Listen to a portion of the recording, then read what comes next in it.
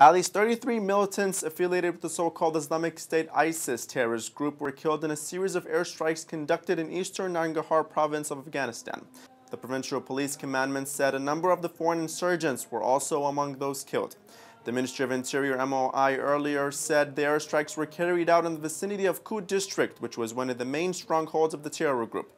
The statement further added that several weapons belonging to the terror group's militants were also destroyed in the airstrikes.